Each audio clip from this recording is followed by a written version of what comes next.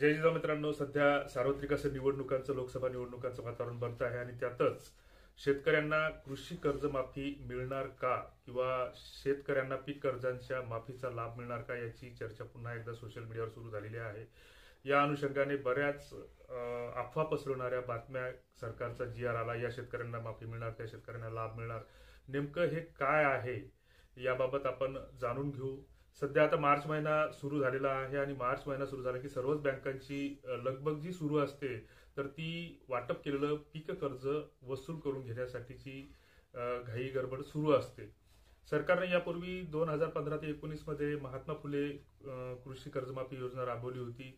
त्याच्यामध्ये बरेच शेतकरी वंचित राहिले होते.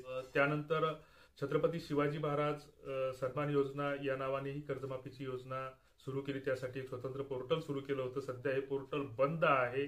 म्हणजे याचा अर्थ सध्या तरी सरकारी पातळीवर कुठलीही कर्जमाफी देण्याचा विचार नाही मात्र काही महिन्यांपूर्वी अधिवेशन झालं नुकताच अर्थसंकल्पही जाहीर झाला. आणि अधिवेशनामध्ये ज्या काही चर्चा झाल्या तर सरकारकडून वेगवेगळ्या आकडेवाऱ्या जाहीर करण्यात आलेल्या आहेत. आणि अशातच महाराष्ट्रातली जी काही शेतकऱ्यांची जी काही शेतीची जी परिस्थिती आहे ती सार्वत्रिक सारखी अशी नाहीये. बऱ्याच भागामध्ये अतिवृष्टी झाली काही ठिकाणी वादळी वारा गारपीट अशा घटनाही घडल्या आणि अशात शेतीचं आणि शेती पिकांचं प्रचंड नुकसान झालेलं आहे. त्याच्यामध्ये काही निकषानुसार ज्या भागामध्ये पिकाच्या निकष निकषानुसार कर्जमाफी दिली जाईल किंवा महात्मा फुले कर्जमाफी योजनेतून किंवा छत्रपती शिवाजी महाराज या योजनेतून जे काही शेतकरी वंचित राहिले किंवा त्रुटीमध्ये राहिले तर अशा शेतकऱ्यांना हा लाभ मिळणार अशीही चर्चा सुरू आहे. किंवा जे काही पन्नास नियमित कर्ज भरणाऱ्या शेतकऱ्यांना जे काही सन्मान योजनेअंतर्गत जे काही पन्नास हजार रुपयाचं अनुदान सरकारनं जाहीर केलं होतं ते अद्याप मिळालं नाही. त्याचा लाभ तात्काळ प्रभावाने सुरू होणार अशीही चर्चा आता सोशल मीडियावर रंगत आहे. मात्र अशातच जिल्हा बँका असतील किंवा जे काही राष्ट्रीयकृत बँका असतील तर जिल्हा बँका ह्या राजकीय पदाधिकाऱ्यांच्या ताब्यात असल्याने जिल्हा बँकेकडून शेतकऱ्याकडून मार्च महिन्यामध्ये कर्ज भरून घेण्यासाठी लगबग केली जाते. म्हणजे शेतकऱ्यांना एक प्रकारचं एक आमिष दिलं जातं की जर तुम्ही एकतीस मार्चपूर्वी जर कर्ज भरत असाल तर ते बिगर व्याजी किंवा मुद्दल कर्जच तुम्हाला ते भरावं लागणार. मात्र जिल्हा बँकेकडून ज्यावेळेस मुद्दल कर्ज वसूल केलं जातं तर त्यावेळेस कर्ज वाटप करतेवेळी तुमच्याकडून भल्या मोठ्या प्रमाणामध्ये म्हणजे त्या कर्जाच्या व्याजाच्या दुप्पट तिप्पट शेअर वसूल केला जातो. आणि या शेअरचा प्रश्न गेल्या अनेक वर्षांपासून प्रलंबित आहे. त्याच्या विरोधात अनेक वेळा आवाज उठवला गेला. मात्र अजूनही या शेअरचा हिशोब या जिल्हा बँकांनी दिलेला नाही. आणि अशा स्थितीमध्ये जर जिल्हा बँक मुद्दल रक्कम भरून घेत असेल वर्षभराच्या आत तर जिल्हा बँकेमध्ये बहुतांश पदाधिकारी किंवा ते जे काही संचालक आहेत तर ते आमदार खासदार किंवा मंत्री या वर्गवारीत मोडत असल्याने ते सरकारकडून व्याजमाफीची रक्कम केंद्र शासनाची जी काय असेल राज्य शासनाची जी काय असेल किंवा वसंतराव कृषी स्वावलंबन योजनेअंतर्गत ती जी काही चार टक्क्याची व्याजमाफी असेल तर ती सगळी रक्कम आपल्या राजकीय प्रेशरचा वापर करून ती वसूल करून घेतात. मात्र राष्ट्रीयकृत बँकांचं तसं नाही. राष्ट्रीयकृत बँका जेव्हा केव्हा तुमच्याकडून कर्ज भरून घेतात तर त्यावेळेस तुमचं कर्ज हे व्याजासह भरून घेतात. आणि जर सरकारकडून ती व्याजमाफीची रक्कम आली तर तुमच्या खात्याला ती जमा करतात असं तुम्हाला राष्ट्रीयकृत बँकाकडून सांगितलं जातं.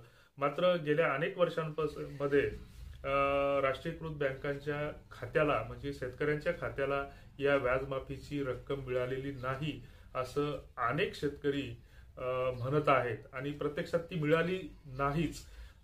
ज्यावेळेस शेतकरी आपल्या पासबुकमध्ये एंट्री घेतो किंवा सेव्हिंग पासबुकमध्ये किंवा आपल्या कृषी कर्जाचं स्टेटमेंट घेतो तर त्याच्यामध्ये त्याच्यात वेगवेगळे चार्जेस व्याज दंडव्याज हे चार्जेस त्यांना कपात झालेले दिसतात मात्र व्याजमाफीची रक्कम जमा झालेली कुठेच आतापर्यंत तरी एखाद्या शेतकऱ्याच्या खात्याला जमा झाली असं दिसून आलेलं नाहीये. आणि अशा स्थितीमध्ये पुन्हा एकदा वावड्या उठत आहेत की शेतकऱ्यांना कर्जमाफी मिळणार किंवा नाही मिळणार. तर याच्यामध्ये बऱ्याच अंशी ह्या कर्जमाफीबाबतच्या अफवा आहेत आणि सरकार ज्यावेळेस एखादी योजना जाहीर करतं तर त्यावेळेस भीक नको पण कुत्रा आवर त्याच्यामधले जे काही नियम किंवा जाचकाठी असतात तर त्या इतक्या क्लिष्ट असतात की शेतकऱ्यांकडून त्या गोष्टीची पूर्तता होत नाही.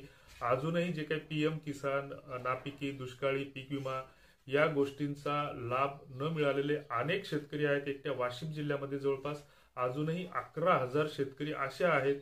की ज्यांना अजूनही त्या गोष्टीचा लाभ मिळालेला नाही मग या शेतकऱ्यांची रक्कम नेमकी कुठे गेली? या बँकेचे खाते तपासतात त्या बँकेचे खाते खाते तपासतात बँकात त्यांना कोणी उभं करत नाही. सेतूवर जायला सांगितलं तहसीलवर जायला सांगितलं जातं कृषी विभागाकडे जायला सांगितलं जातं आणि अशा स्थितीमध्ये शेतकरी चक्रा मारू मारू कंटाळतात आणि शेवटी याचा नाद सोडून देतात.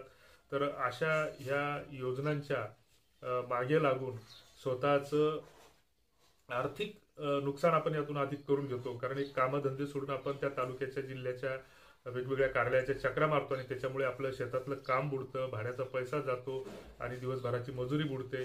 तर अशा ह्या योजना सरकारला जर द्यायच्या झाल्या तर अतिशय सोप्या पद्धतीनं सुलभ पद्धतीनं दिल्या पाहिजे. शेतकऱ्यांच्या खात्याला त्या जमा केल्या पाहिजे. बऱ्याचदा डीबीटी अंतर्गत ह्या योजना नेमक्या कुठल्या खात्यात दिलेलं असतं एक आणि कुठल्या खात्याला ते जमा होतात याबाबत कुठलाच ताळमेळ नसतो. आणि अशा योजनांपासून बरेच शेतकरी वंचित आहेत.